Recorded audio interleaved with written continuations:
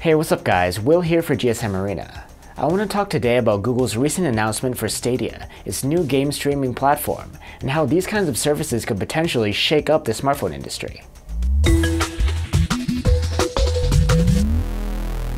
Now, we've known about Stadia for a while now. It was first announced back in March, and it's already created quite a bit of buzz. But just a couple of days ago, Google has come out with some general release dates, some idea of the pricing, and a list of some pretty nice games coming out at launch. All exciting stuff. So if you didn't already know, Google Stadia is supposed to be like a Netflix for gaming, except you do have to buy each individual title.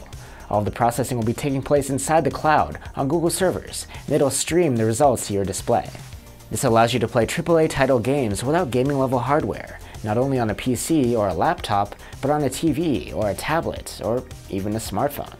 And it's not only Google. Microsoft is testing its own cloud gaming service called Project xCloud, and Apple is coming out with its arcade subscription service too, though details are scarce. This opens up a lot of questions about the future of gaming. If these streaming services are a success, no longer would you have to spend a ton of money on hardware.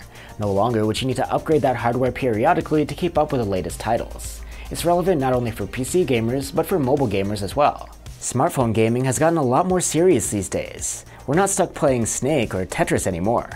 Manufacturers are marketing phones specifically for the gamer crowd, like the Honor Play and the Asus ROG phone or the Razer phone. These types of devices have powerful processors, heat sinks, and specific software to optimize the gaming experience. But the gamer effect isn't limited to just those phones, it's throughout the whole system. Each generation of flagships is coming out with a new chipset, trying to get a little bit faster, a little bit more powerful each year. Do we really need more power for browsing Facebook or watching YouTube? It's a numbers game, and a lot of it is for the sake of saying, yeah, we can play the latest games without a hitch. But when game streaming enters the picture, it'll open up a different option entirely. You could buy a smartphone that you're happy with and stream the latest games for the entire lifetime of the phone. All of the patches and hardware upgrades will take place inside the cloud, on the servers, so you could potentially use the same phone for years, maybe just replacing the battery once in a while. This would really shake up the smartphone ecosystem. The markets are already starting to become saturated, and manufacturers have to constantly come up with new features to attract customers. If a chipset upgrade isn't necessary, they'll have to try even harder to get us to buy their new phones. These changes won't happen overnight though.